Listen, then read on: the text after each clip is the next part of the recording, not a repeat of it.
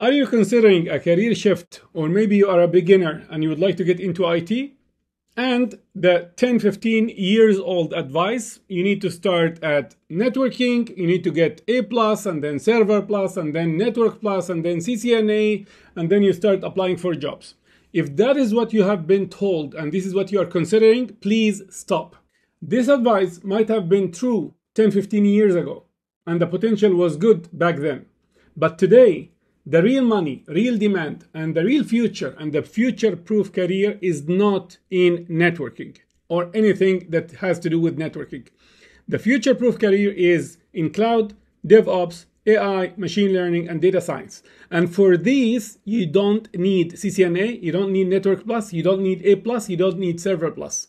In this video, I'm going to explain to you how that legacy or old IT path is going to hold you back, is going to minimize your ROI, is going to have you compete with millions of people who are ready and available as a supply for a decreasing demand that will decrease by the day because cloud is on the rise, remote infrastructures are on the rise, services on demand are on the, rise, and the as a service model is on the rise. And these are all pay as you go services, so companies don't have to invest in huge data centers and their networking and so on.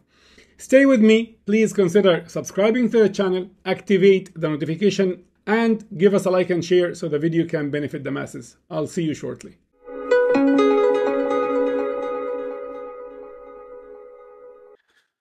Before I start, what entitles me to talk about this?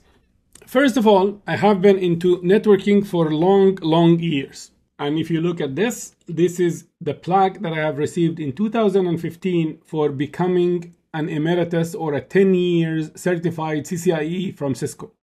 And if you look at the number, it's 15465, and that was achieved in November 2005.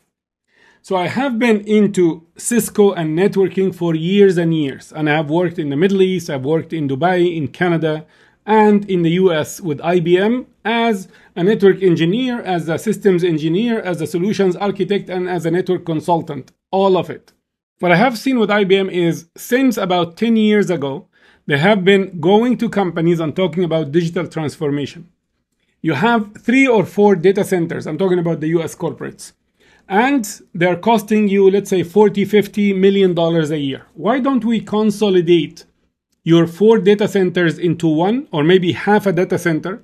So you save money on real estate, you save money on a lot of people that are not going to be needed anymore for cabling and for networking and for security and for physical security and so on by minimizing into one or half a data center. And even for the half data center we are going to give you some data center space in our facility so you don't have to have real estate or hardware at all or even that little hardware that is left bring it into the facility that we are going to provide you. They call it co-location.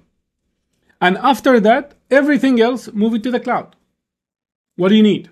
You need Virtualization, we have it. You need Kubernetes, we have it. You need Docker, we have it. You need to have microservices, serverless, you need security, you need uh, databases, we have everything. And it's going to be a monthly bill. You don't need to pay anything upfront. That's the model. That's what's happening. That's what the cloud is driving.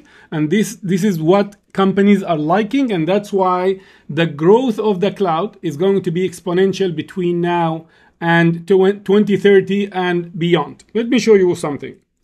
IDC, a very respected analysis firm, in July 2024, a few months ago, they estimated that the cloud, the public cloud spending in 2024 is going to reach 800 billion, so a little short of a trillion dollars, and it will double in size by 2028. So by 2028, we are going to reach 1.6 billion dollars of cloud revenue. This is more than 30 times the size of a company like Cisco in terms of revenue. So this is for the cloud. Why is it growing? What is driving that growth? It is very simple. Data, artificial intelligence, machine learning, and edge computing. This is, these are what are driving the innovation in the world. And cloud is the cheapest and the fastest method of supplying all the advanced hardware that has the intelligent GPUs and all that required for AI and machine learning, and that's available in the cloud. You don't have to spend to bring that into your company, just pay us the monthly bill when you use it. That's it. So that's cloud. DevOps, look at the growth. So cloud in four years, 20% growth per year is going to be almost exponential going into 2028.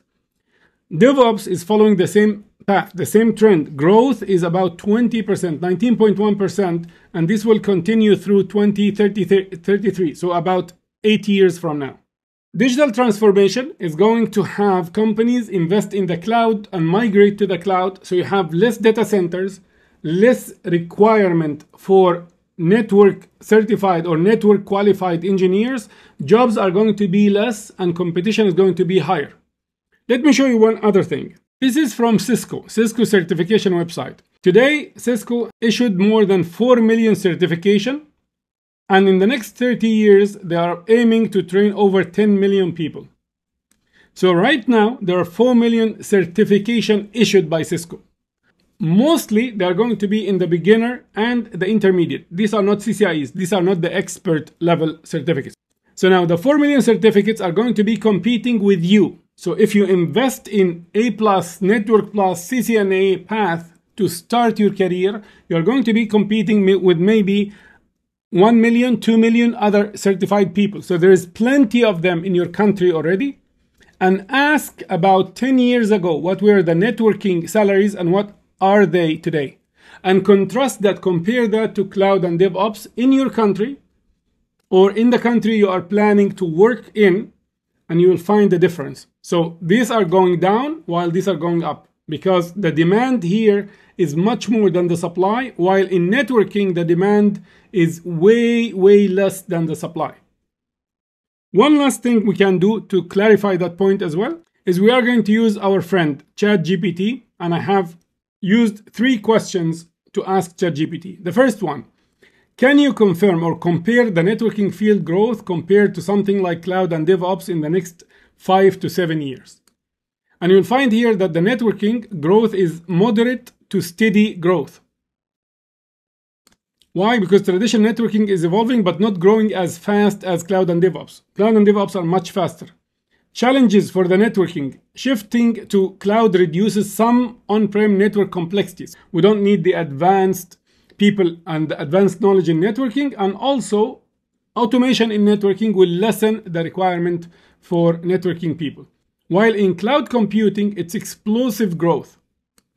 The job market is high demand and the focus areas are multi-cloud and hybrid cloud, migrating and connecting data centers to the cloud, AI and machine learning, serverless computing, and cloud security and compliance. Job market, high demand for cloud architects, engineers, and cloud security experts. And it's rapidly expanding tools, the AWS uh, provider, the Azure provider, and the Google provider. Cloud is the hottest and most in demand field with strong long term growth. So you should invest in what is going up. You should not invest in what's going down. DevOps, strong and accelerating. Why? Because of CI and, and so on. Focus areas, automation, observability and monitoring, and infrastructure and platform engineering. DevOps is often blended with cloud roles. And DevOps engineers are in much higher demand than cloud engineers. And these are the skills. This is what you need to invest in and learn for the future. Not CCNA, not A+, not Network Plus. And now the second question I asked, does an absolute beginner in IT, so you are an absolute beginner, fresh graduate, moving into IT from another field, you have no background in IT, you have no preference and you don't want to go into networking, but people told you that you need to get into networking, take A+, plus, Network Plus, Server Plus, and then take the CCNA. Do they have to achieve or study Network Plus CCNA before venturing into cloud, DevOps, AI, and machine learning and ML ops. So now you are heading into the hot fields with no background, but people told you you have to start with networking. You have to be CCNA, you have to be Network Plus certified, A Plus certified, and then you can go into the hot fields. The short answer is no. You don't need to study Network Plus or CCNA before diving into cloud DevOps machine learning, but but a basic understanding, the fundamentals of networking are very helpful and sometimes essential, mostly in cloud and a little bit in DevOps, but a little or no relevance in the other fields. So long answer. For cloud, yes, you need basic knowledge. Why? Because you are going to deal with VPCs, firewalls, load balancers, and IP ranges and routing. Do you need CCNA or Network Plus? Not required. DevOps, you will need networking for Kubernetes networking, Docker networking, CI CD pipeline access. What is a DNS? What is TLS? That's what you need to understand. And that's it. Nothing about Cisco switches, nothing about Cisco routers, nothing about the hardware and types and models and interfaces and how to automate configurations on them. All that, you don't need it. It's not going to pay you the right return on investment that you are looking for. And the growth is steady to moderate and it's not exponential and it's not in high demand and the supply is way more than the demand that is decreasing by the day. AI and machine learning, minimal to none. ML ops, moderate, especially when deploying models in production. So recommended approach for an absolute beginner, start with basic IT fundamentals. So what's an IP address? What's a subnet? How does DNS and HTTP work? Okay, here they're saying maybe IT fundamental from CompTIA or just or just self-study on operating system, file systems, and CLI. And part of the cloud and DevOps is to learn Linux and to be very good at Linux, which is operating system and command line interface. So you don't need even CompTIA IT fundamentals. You can learn without getting Network Plus or CCNA because this is less than 5% maybe of the content of CCNA and, and Network Plus. Then to choose a path. Do you want to go into cloud DevOps or AI machine learning? The final conclusion here is certifications like Network Plus and CCNA are useful if you are going into networking. You want to become a network engineer. You want to become a network security engineer. Then fine, go into Cisco and do whatever you want. But keep in mind that this is not the high return on investment careers. So we have already looked at the first question that networking is not the right one for a beginner because the the need and the demand is not going to be steady across the years, and the pay is already lower than the cloud and DevOps and AI and machine learning. The third one is can you suggest a short beginner friendly networking learning plan just for cloud and DevOps learners? Because these are the two fields that they would need networking more than AI and machine learning and the others. And the goal is to skip the deep Cisco style networking and focus only on what matters. That's what you need to do. Do not listen to who's telling you Network Plus, A Plus, uh, CCNA, and CCNP with Cisco. Forget about that. Learn enough networking that you need for cloud and DevOps. That's it. And if you decided that you are going to go straight into machine learning and AI, you don't need networking at all. If you decided to go into development, then you will need a little bit of the cloud because you want to deploy in the cloud, and that's why you will need networking basics as well. So what you will learn, four to six hours per week, less than one hour per day. And you will learn what is an IP address, subnetting, private IP versus public IP, TCP versus UDP, and DNS and HTTP basics. Week two, VPCs. So now we are getting into the cloud, internet gateways and NAT gateways, route tables, security, and so on. And then week three, you will learn about DNS, load balancers, and firewalls, and what's a DNS, what's a load balancer, what's SSL, firewall rules, and so on. Week four, learn about Docker, and exporting ports with Docker and Kubernetes. This is part of the DevOps that you will learn anyways. So the point is, if it is four to six hours per week in four weeks, that means if you set one week dedicated five, six hours per day, you can finish all the basics in one week. Maximum 10 days. So the message is and the conclusion, do not waste your time and do not listen to those who are advising you about traditional IT. It's long gone. The value of it is long gone and the future is not as promising as the new fields.